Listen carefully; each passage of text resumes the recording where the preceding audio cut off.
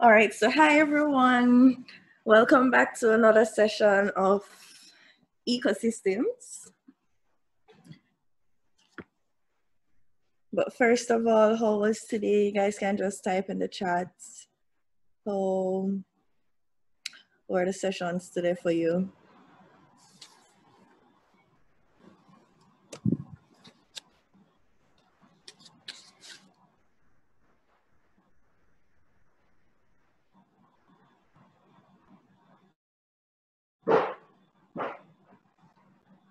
Oh, Natara, Natari, why, why weren't the sessions not so good for you? Great, Danielle. Nice to hear that.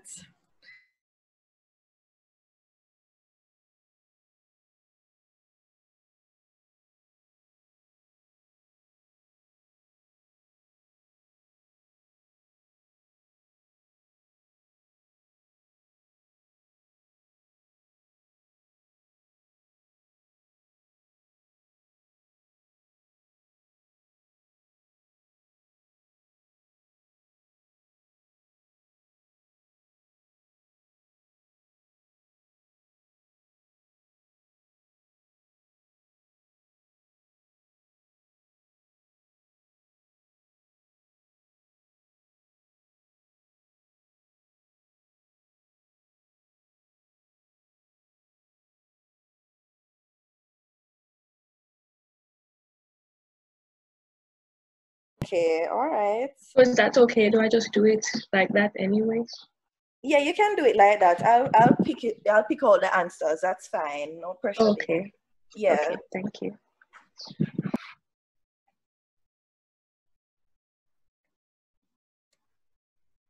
All right. So we're just going to do a recap. So remember, in our last session, we were discussing the two main things that make up an ecosystem and what are those things.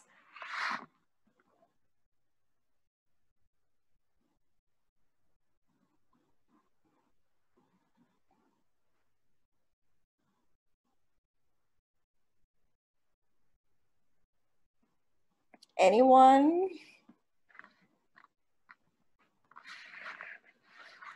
Right, so the abiotic and the biotic factors. So those two things make up an ecosystem. And Natari, you're not wrong. Um, the producers, they do make up the ecosystem. They make up the living component of the ecosystem. So a producer would be an example of a biotic um, component or a biotic factor in the ecosystem. So I just, a point I forgot to mention yesterday. So you remember when we were looking, we were discussing about the forest ecosystem. And if it is that we zoom in on a micro ecosystem, such as um, ants, you know, that can actually be called, you know, micro ecosystems. The proper term or the correct term that should be used to describe them is a community. So when you guys are doing scientific sampling methods, you'll be exposed to what a population is, what a community is, and what a larger ecosystem is. So usually um, the more advanced scientific definition of an ecosystem is a collection of population interacting with abiotic components of in an environment. I hope that wasn't um, too confusing, but I'll repeat it. So a very advanced definition of ecosystems is a collection of populations or a group of populations in interacting with abiotic components in an environment. So what populations are in scientific terms is um, a group of the same species. So for example, you guys know the scientific name for human beings, Homo sapiens, you're familiar with that, right? So human beings would be one population. And then ants is that something definitely separate, they would make up a different population. And probably like a group of cats would make up a different population. So that is what they mean.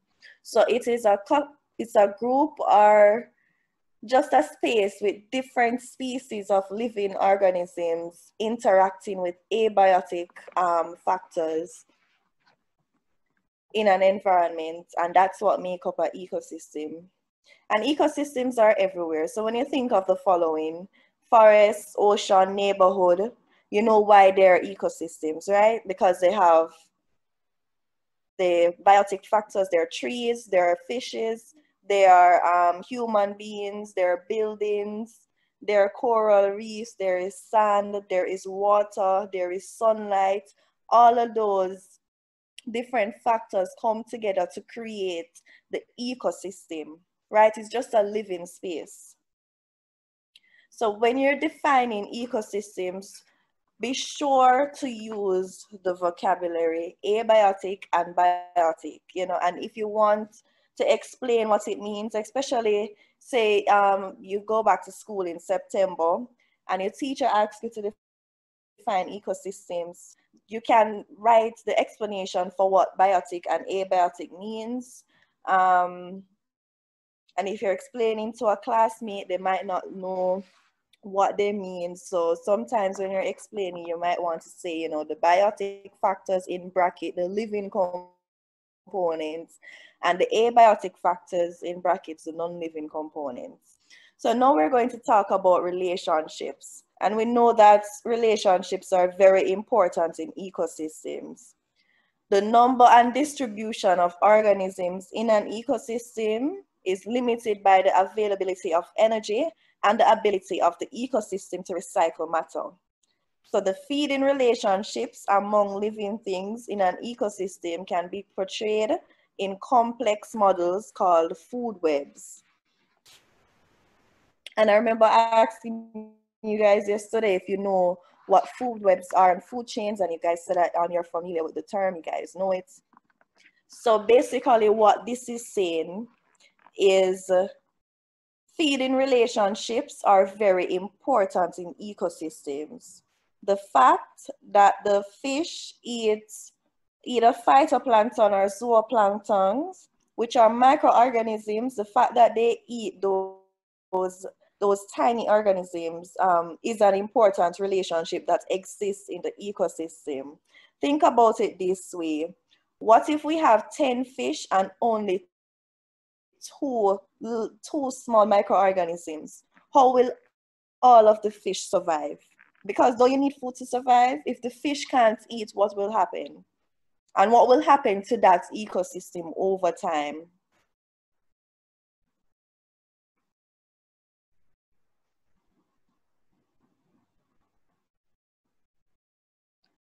It will die, right? So, oh yes, it will decrease, it will decrease, and it will, I mean, sorry, just hit it on the nail right there when, when you said that it will die, because over time it will become extinct, non-existent. So this is the reason why relationships are so important in ecosystems. And this is how the abiotic factors can manage the population in a sense. The, the abiotic factors play a very important role in the distribution of organisms. So for example, when you look at plants, what, do, what does um, plants need the most to survive?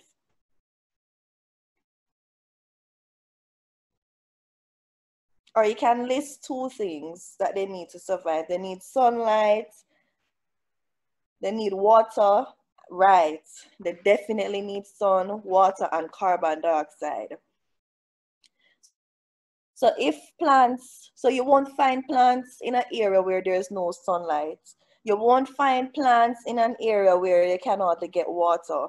Unless they're adapted to live in that area, you will not find them. And yes, um, there are plants and animal species that are adapted to live in extreme conditions. And what I mean by extreme conditions is conditions where it is that their requirements for living is is limited. The requirement for living is limited, but they can survive. And a cactus is a very good example of a plant adapted to live in extreme, extremely dry conditions.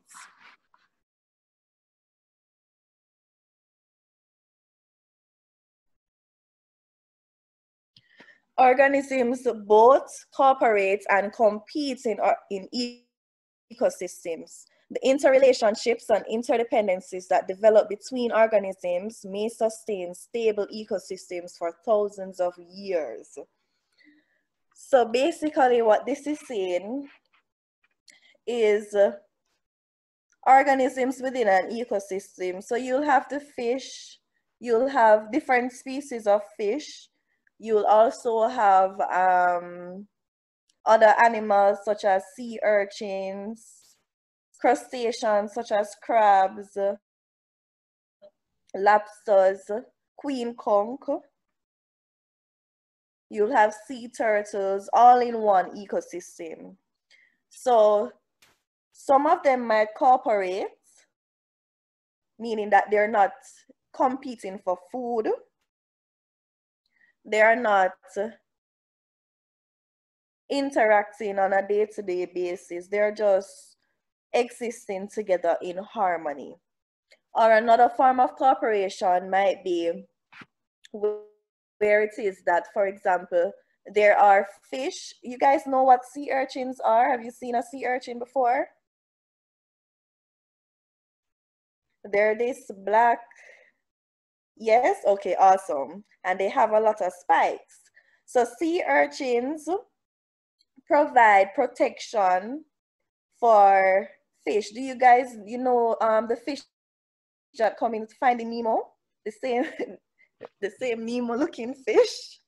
So that fish, that fish actually exists.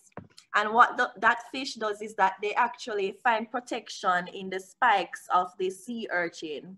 So in order to find an actual Nemo, just look if you see a sea urchin and you will actually find a Nemo between the spikes of the sea urchin seeking um, protection from predators.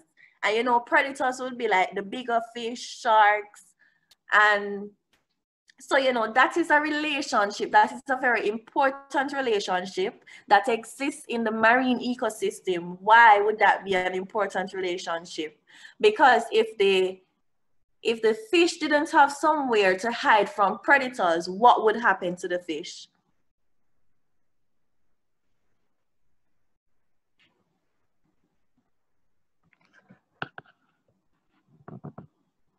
They would die out. And yes, they are that small.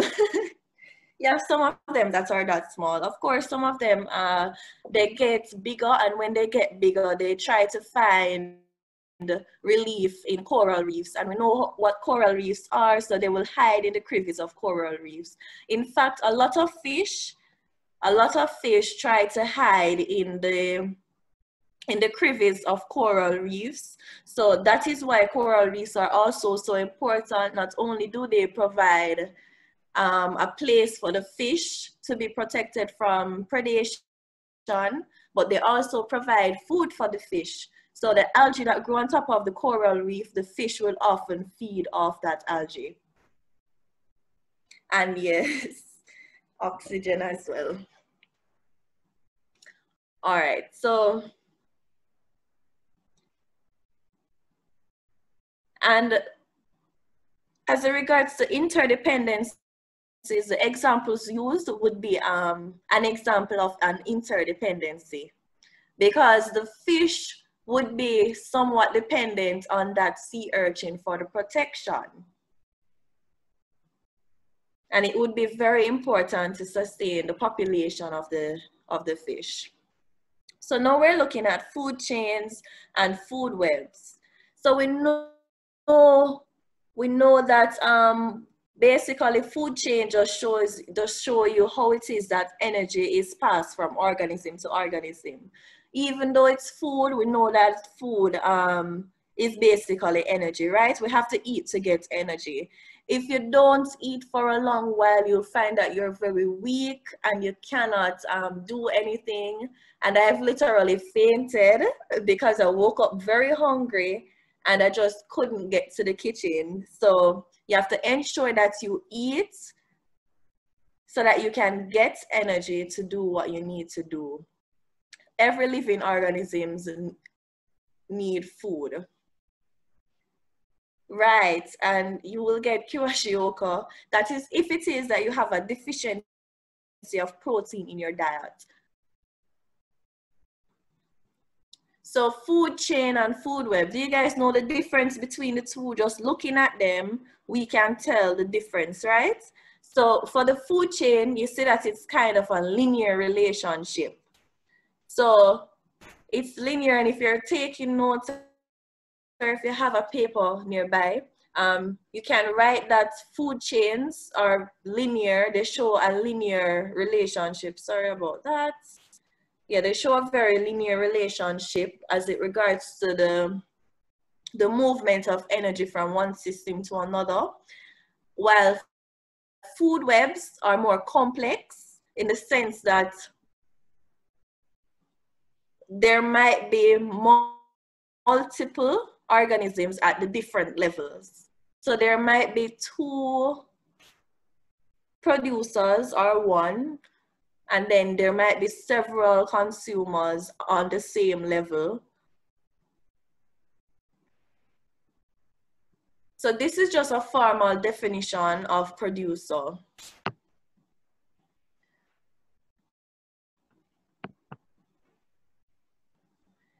So the sun is the source of energy in nearly every ecosystem. And we know that because the reason why that statement is true is because the sun provides energy to the plant for it to photosynthesize, right?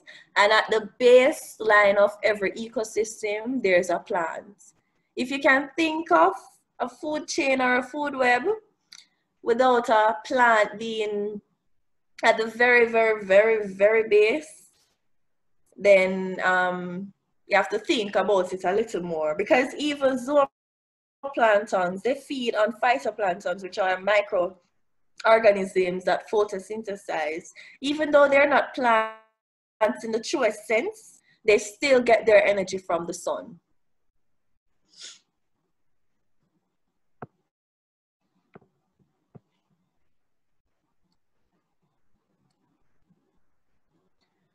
All right, so this now, we're looking at a formal definition of consumers. So the consumer is basically all the other organisms that feed on the producer or they feed on another consumer.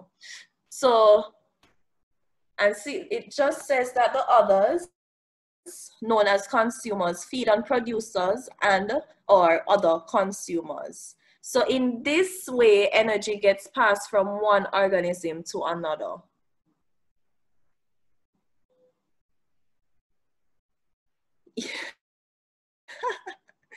okay, no problem. I'm almost through, I think. I'm almost through. All right, so types of consumers. So of course you have primary consumer and you have secondary consumer. So for primary consumers, it would be like the grasshopper in this picture here. The grasshopper would easily be a primary consumer because it's the first consumer that would feed on the producer, right? And then all the consumers after the grasshopper would be known as secondary consumers. So they're not feeding directly on the producer, but they're feeding on the primary consumer. All right? And then tertiary consumers would be like the snake now who is feeding on a secondary consumer. And then of course you have herbivores and the, another type of um, consumers. You have herbivores. This is just a different way to categorize the consumers that exist within a food chain or a food web. So you have herbivores that feed on plants only, carnivores that feed on meats only, and omnivores that feed on plants and animals.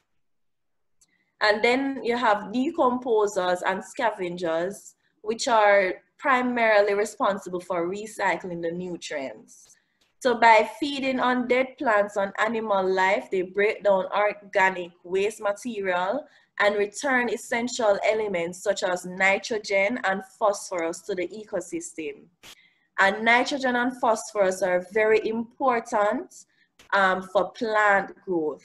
So basically these very nutrients are recycled again to encourage the growth of the producer and then it will go, through the food chain or the food web again. So this is why ecosystems and the recycling of nutrients are so important. So with that said, what are humans? You can just drop the answer in the chat. In terms of are they herbivores, carnivores, or omnivores? And are we primary or secondary consumers?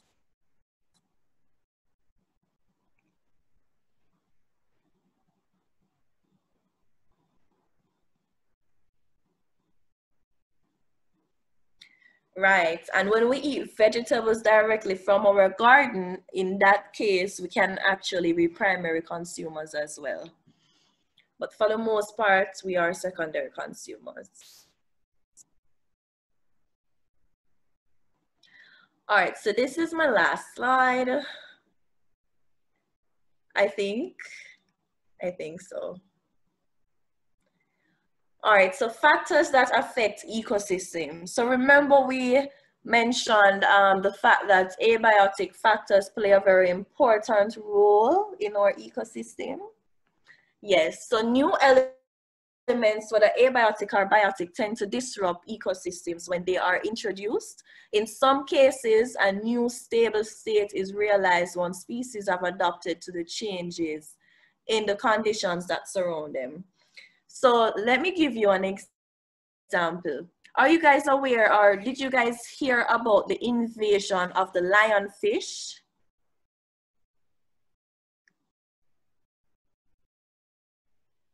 No? Okay. All right, so there is a fish known as the lionfish that was it was accidentally introduced in the waters of the Caribbean. It's originally in the, it's originally from the Pacific Ocean, but then it made its way across to the Atlantic Ocean and was introduced in Caribbean waters. So this lionfish, a lot of people fear them because they're very, yes, they're, they're dangerous and um, they actually are eating our parrotfish. And you know Jamaicans love parrotfish. Anywhere at all you go in the world, parrotfish and tropical fish are, are very, um, they're like the most sought after fish. So the lionfish target lo lobsters, parrotfish and other important species that we feed on. And so it disrupts our entire ecosystem, our marine ecosystem, because now we are seeing where we have a shortage of parrotfish due to the invasion of the lionfish. And there are several other examples where it is that ecosystems can be completely damaged because of an introduction of something new. For example, an abiotic factor such as a chemical being introduced into a river. So later on you'll learn about eutrophication, but eutrophication is caused by an influx of nutrients such as nitrogen and phosphorus in river systems. So if you have a river that is next to a farm and the farmer is fertilizing its crops, his, his or her crops, and the fertilizer ends up going into the river, it will cause whatever plant species that is in the river to overgrow or to grow larger than it usually does. And when that happens, it can affect the fish that are in the water, causing them to lose oxygen not, not be able to access oxygen because the plant is using that oxygen to to um instead of the plant providing oxygen maybe it is that the plant is covering the top of the water and causing below it to become very toxic and stuff like that. So change can lead to ecological collapse and the death of many species as human populations grow, for instance, and their consumption of food, water, and other materials increases, the ecosystems that provide for these needs are, at the very least, being stressed, and in some cases, they are being destroyed. So that is, I told you this was my last slide. And this is a video that you guys can watch. Um, I already uploaded the material. So you guys can go in and watch that video. And if you have any questions, feel free to post them in the Google Classroom or you can send an email directly to uh, our, our email address biolifeja at gmail.com. And I hope this session was very informative for you. I hope you learned a lot.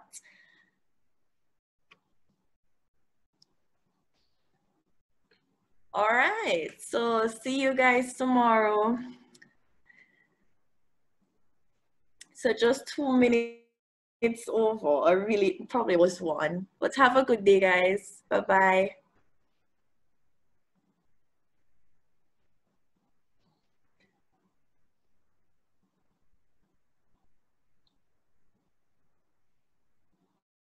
Thank you.